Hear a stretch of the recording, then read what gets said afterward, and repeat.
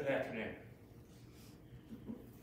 If you would please join me in a word of prayer, we'll begin our services this morning, today. Father, we come today to honor and remember the life of Shelly Graham. We are gathered here today not only to grieve the loss of Shelly, but also to give thanks to you for her life and for the memories that her loved ones have had. Father, we're gathered here today to not only consider the shortness and uncertainty of the life here on earth, but to give thanks to you simply for the gift of life and the time that we each do have here on this earth. We thank you for friends. We thank you for family who are needed during this time of loss. Lord, we'd ask you to comfort us this day as we come together to share love and wonderful memories with one another. We pray this in your Son's name. Amen. Shelly J. Graham, 54 of Chester, passed away Tuesday, July 21st, 2020, in the emergency department at East Liverpool City Hospital. Born December 7th, 1965 in East Liverpool, she is a daughter of Shelby Yost Graham of Chester and the late Robert Huey Graham. She attended Dunbar School in Weirton, and she was employed for many years at the Hancock County Workshop. She will be missed by her companion Randy Cook of Chester, aunts, uncles, and cousins.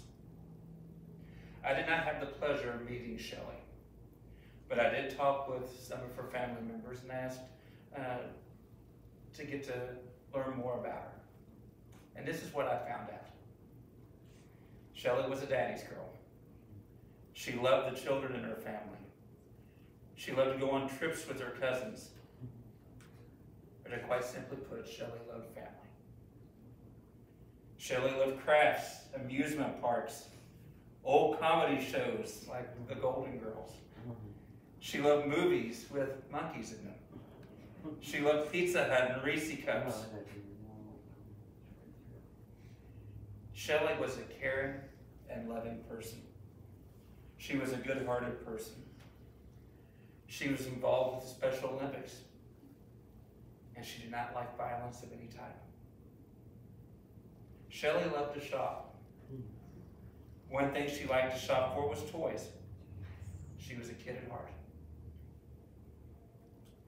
These are things that we know about Shelly.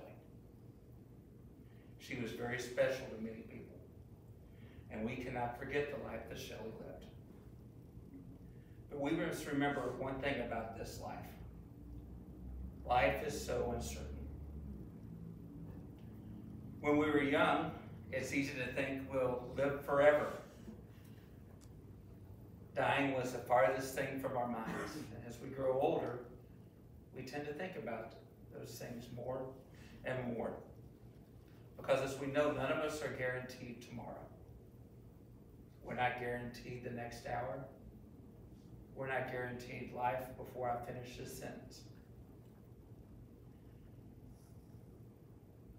In Psalm 39, verse 5, it's written, In fact, you have made my days just inches long, and my lifespan is as nothing to you.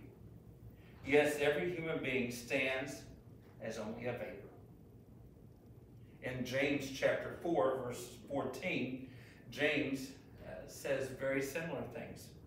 He says, Yet you do not know what tomorrow will bring, what your life will be. For you are like a vapor that appears for a little while and then vanishes. Because of that uncertainty, as we grow older, we consider the approaching end.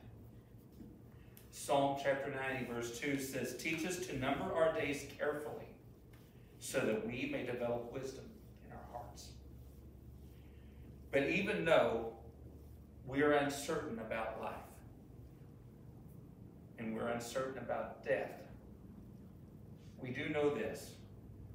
God has made victory possible over all of this. Jesus had the power over death. In Luke 7, it talks about Jesus raising a widow's son. In Luke 8, it's recorded Jesus raised the daughter of a man named Jairus. And in John 11, it's recorded that Jesus raised Lazarus from the dead. Jesus himself overcame death with his resurrection. And through that, we have hope. In 1 Peter chapter 1, verse 3, it says, Blessed be the Father, the God and Father of our Lord Jesus Christ. According to his great mercy, he has caused us to be born again to a living hope through the resurrection of Jesus Christ from the dead. We can rejoice because death has been defeated. In 1 Corinthians 15, 54 through 57, Paul wrote, Death has been swallowed up in victory. Where death is your victory? Where death is your sting? The sting of death is sin, and the power of sin is the law. But thanks be to God who gives us victory through our Lord Jesus Christ.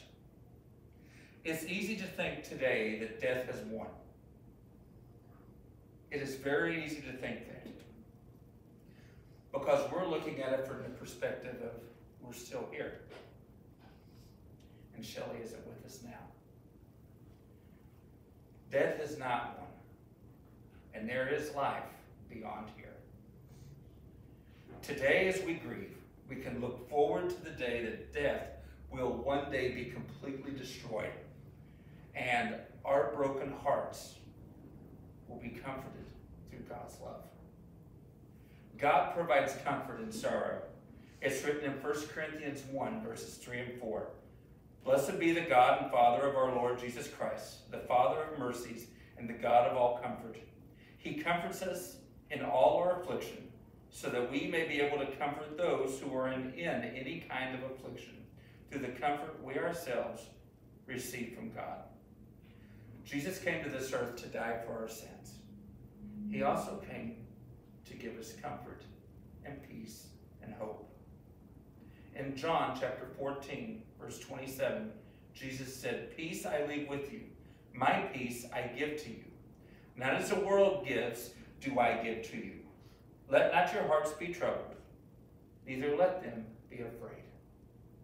The peace Jesus gives helps us get through any situation, including the sorrow that we face today. Jesus Christ gives hope to all who follow him. In John 14, 6 and 7, Jesus says, I am the way, the truth, and the life. No one comes to the Father except through me. If you know me, you will also know my Father. Jesus is the true way to life. When Jesus says he loves, he does. When Jesus says he cares for us, he means it. He showed us that love with his sacrifice on the cross. And through Christ, we will receive life beyond this world. So today, celebrate the life of Shelly. I close with a poem titled Safely Home. I am home in heaven, dear ones, oh so happy and so bright. There is perfect in heaven at last, in this everlasting light. All the pain and grief is over, every restless tossing past. I am now at peace forever, safely home in heaven at last. Did you wonder I so calmly trod the valley of the shade? Oh, but Jesus' love illuminated every dark and fearful glade. And he came himself to meet me in that way so hard to tread. And with Jesus' arm to lean on, could I have one doubt or dreads? Then you must not grieve so sorely, for I love you so dearly still. Try to look beyond earth's shadows, pray to trust our Father's will. There is work still waiting for you, so you must not idly stand. Do it now while life remaineth. You shall rest in Jesus' land. When that work is all completed, he will gently call you home. Oh, the rapture of that meeting. Oh, the joy to see you come. One final word before I close in prayer. I say, this, I say this at the end of every funeral I do. It's a quote from Dr. Seuss, who said, Don't cry because I'm gone. Smile because I lived. Let's pray. Father, we thank you for Shelly and how she touched all who she came in contact with. I lift up Shelly's family and friends to you during this time of mourning, lifting up to you a prayer for comfort and peace. You are the giver of life, and your Son Jesus is the source of that eternal life through his death on the cross, through his sacrifice. How thankful we are that Christ rose on the third day, never to die again. We cling to his promise, because I live, you shall also live. Thank you, dear Father, for that victory over death and for the grace and love that, that share that victory in us. Father, again, we thank you for Shelly. We pray for all those who are mourning, who are grieving. We pray for comfort during this time of loss. Let us rejoice in her memories and trust in our Savior to help us through. In your Son's name we pray.